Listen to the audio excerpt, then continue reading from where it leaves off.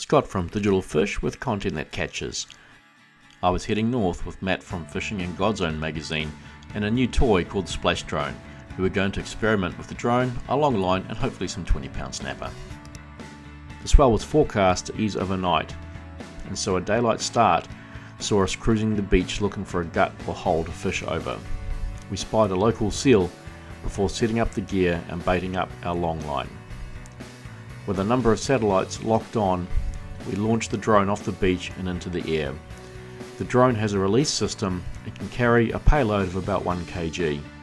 We had it set up to a game fishing outfit and about a kilometre of line.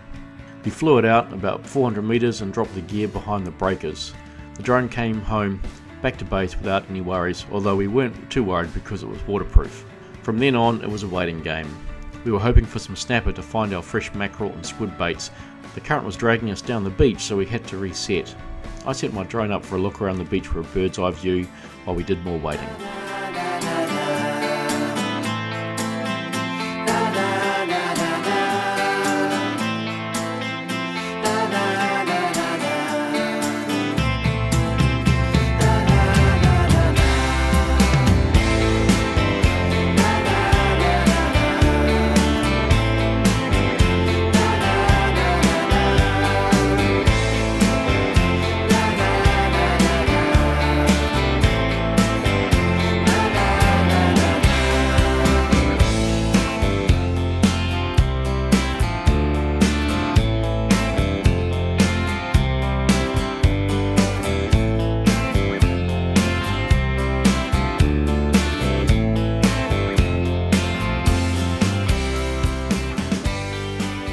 Hordes of snapper that were present last week were playing hide and seek this week, and several drops returned no results.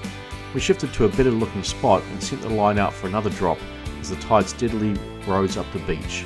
More waiting and some conversation with curious locals filled in the time and eventually something bit. Yep, just a kahawai. To fill the food bag we looked for some tuatuas.